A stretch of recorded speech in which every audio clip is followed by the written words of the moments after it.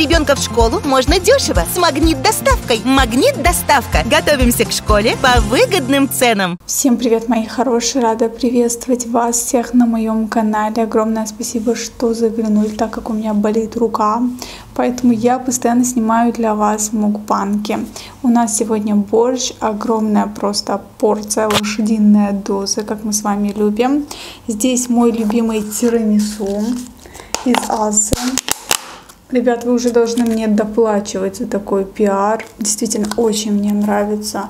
Невероятно нежная текстура. Я вообще тирамису не везде люблю, но именно у них просто вау, просто пушка. Здесь у нас банан с борщем. Я всегда кушаю корнишоны, маленькие огурчики и обязательно колбаска.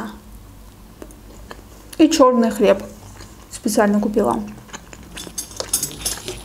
Приятного вам аппетита, если вы тоже кушаете. Такой наваристый бульон получился. Готовила я сама, я все добавляю очень много воды. Я люблю, когда бульона много. Прям старалась, делала макияж, и мне так нравится, как получилось. Вообще не надо бояться экспериментировать. Вообще очень люблю делать мейк, но всегда у меня получается как-то не особо. Поэтому это убивает во мне мотивацию пробовать дальше разные макияжи.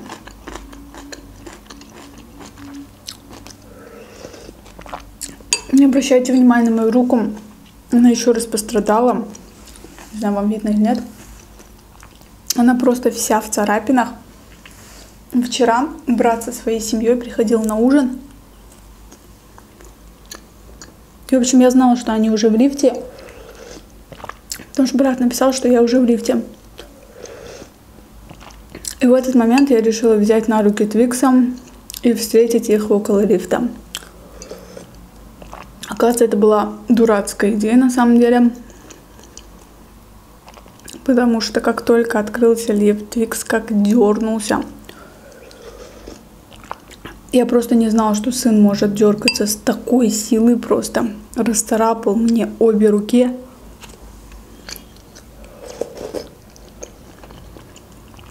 Оказывается, Твикс очень сильно боится лифта. Вот реально вот этот порез прям сильный. Прям болит.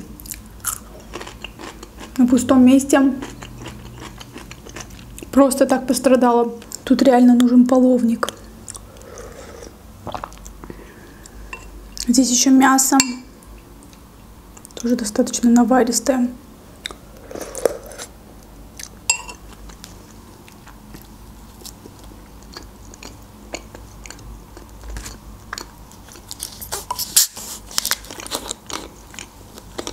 Я позавчера ставила опросник у себя в инстаграме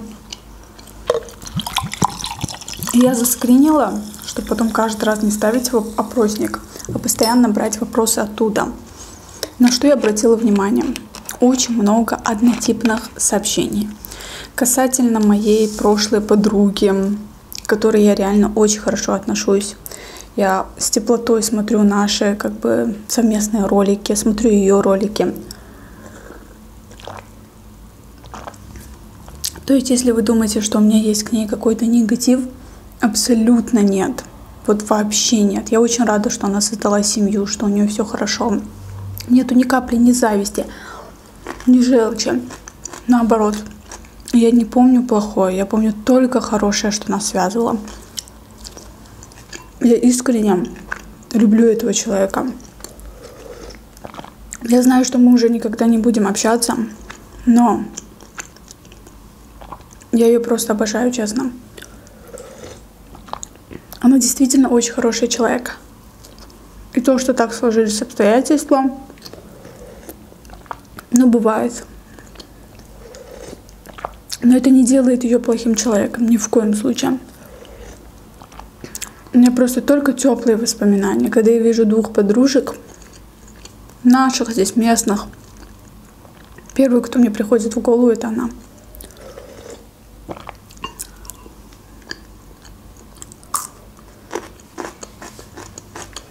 Еще вопросниках постоянно очень много вопросов касательно моей личной жизни.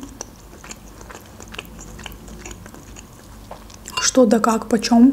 Если у меня молодой человек, все гадают, думают. Вот некоторые думают, что если бы у Айки был бы парень, она бы сто процентов выкладывала истории из его машины, там, не знаю, там в ресторанах, тут, там где-то его светила. Но я вам скажу так. Вы слишком плохо меня знаете. Я могу абсолютно ничего не постить.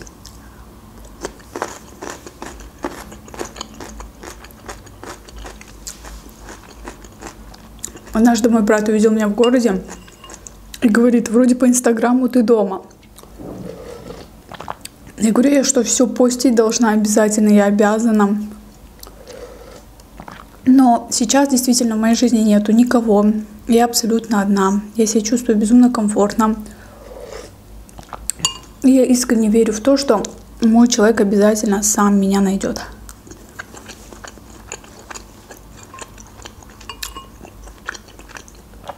Я не считаю, что вторую половинку прям надо искать. На сайтах знакомств, тут, там.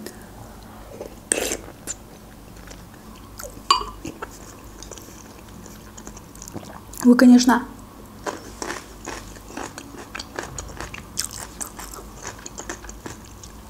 можете с кем-то познакомиться. Но я предпочитаю как бы довериться Вселенной и просто сидеть ждать. Сейчас наверняка в комментариях все напишут, так, ты постоянно дома, так кого ты встретишь. Но вы знаете, я никуда не тороплюсь. Когда встречу, тогда и встречу. Так что на главный вопрос я, пожалуй, ответила, парня у меня нет. И по большей степени это моя вина, потому что я очень капризная. Вот честно, достойных людей вокруг меня очень много. Просто я недостойна. Мне просто эти разные люди, есть люди влюбчивые, а есть люди наоборот, которым очень сложно в кого-то влюбиться. Вот я скорее не влюбчивая, и это дело не в возрасте. Лет в 16 я была такая же. У всех там были отношения, любовь, морковь. Мне никто не нравился. Да я особо не могу сказать, что прям везде ко мне подходят, знакомятся, в инстаграме мне пишут парни, такого нет. У меня в основном женская аудитория. Это 95% девочки.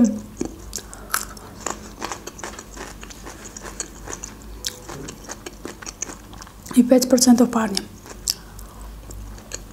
Но даже среди пяти этих процентов один раз был случай, я ехала на машине. Я вот ненавижу такие выходки, когда парень пытается показать свои, свое мастерство вождения. пытается тебя прижать, обгоняет тебя. Я еле-еле вожу. Слава богу, не было еще ни одного ДТП.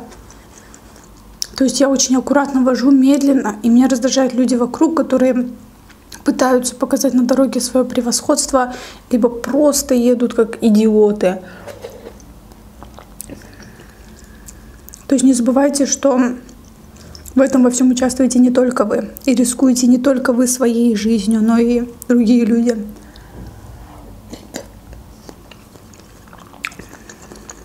Особенно автобусы. Мне кажется, автобусам вообще плевать.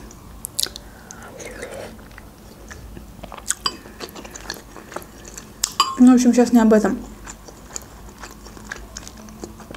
Суть в том, что когда мне было 17-18 лет.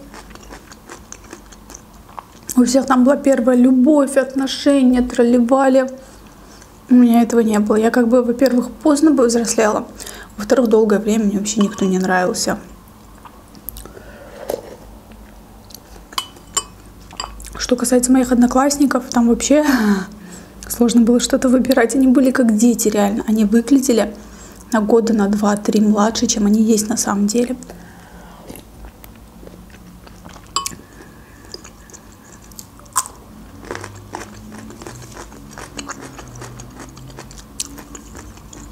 В универе тоже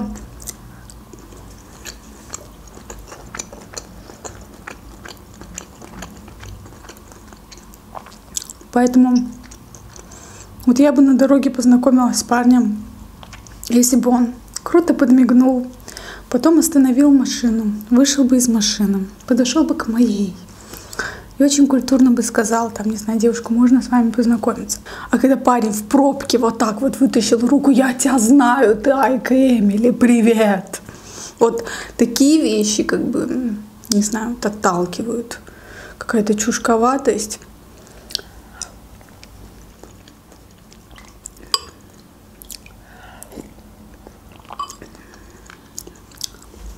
Вот честно, многие думают, наверное, иметь большую аудиторию это круто. Мне еще хорошо. У меня в Азербайджане не такая большая аудитория. То есть у меня очень много зрителей из России. Очень много. Из Казахстана. Меня Казахстан очень любит, кстати. То есть я представляю, если бы вся моя аудитория была бы из Азербайджана, было бы очень неудобно. Действительно. И вот вам, возможно, кажется это круто. Но поверьте мне, крутого здесь мало. Лучше заниматься ютубом, но быть где-то за кадром. Например, у нас в Азербайджане есть канал. Они, кстати, тоже лезгины. Называется Can't Hayate. И это вообще, они такие молодцы, они такой контент просто снимают. И молодой человек, он находится за кадром. Снимает, все организовывает, но находится за кадром.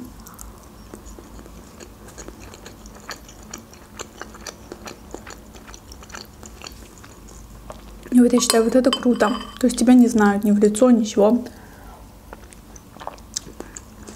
Даже мне в какой-то степени моя медийность, она как бы приносит какие-то неловкие моменты, проблемы.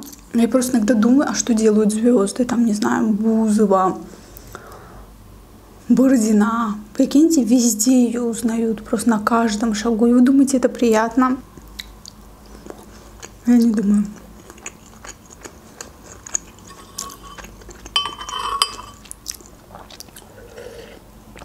Однажды я очень сильно торопилась, я была на торговую. У меня подруга сидела в сыроварне.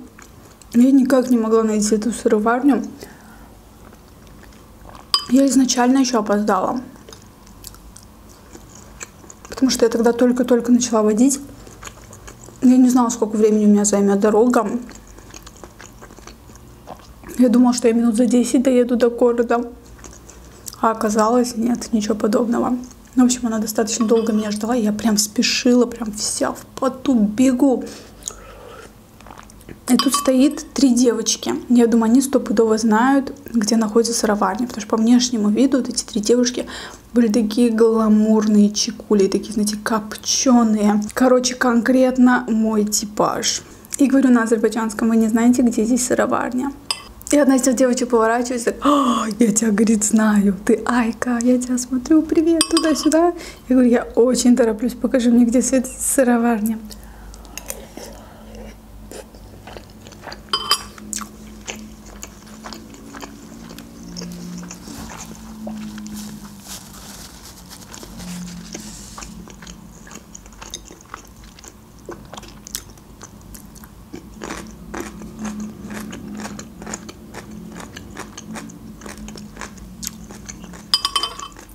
Вы сейчас опять напишите, что я ненавижу мужиков.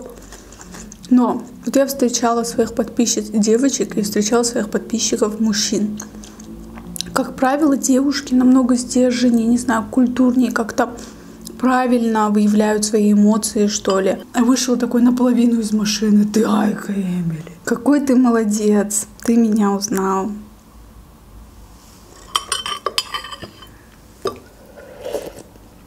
Давайте не будем совсем наедаться и попробуем наш тирамису. Ну как попробуем, я его миллион раз пробовала.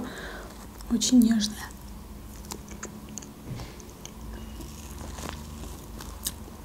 Нежнятина.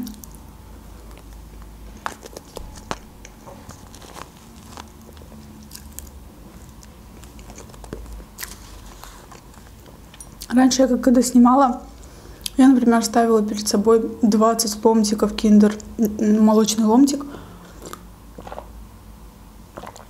И вот кушала. А сейчас я понимаю, что мукбанги, они намного аппетитнее, вкуснее, когда разная еда. Например, десерт, основное блюдо, хлеб –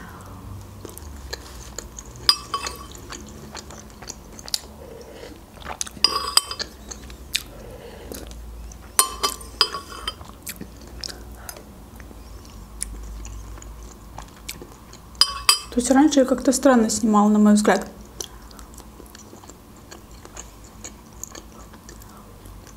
Вы меня, конечно, извините. Но я сделаю вот так. Ложка это просто очень будет долго.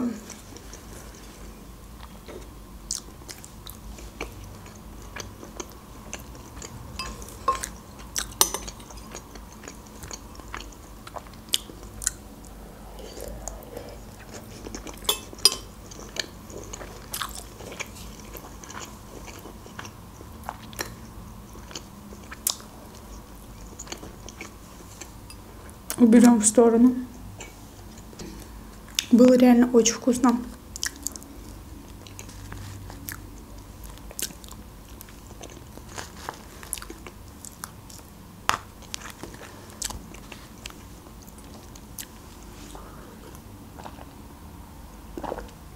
А если у вас есть вопросы, которые вы бы хотели мне задать, но у вас, например, нет инстаграма, то обязательно пишите ваши вопросы внизу. На этом все. Всех люблю. С вами была Айка.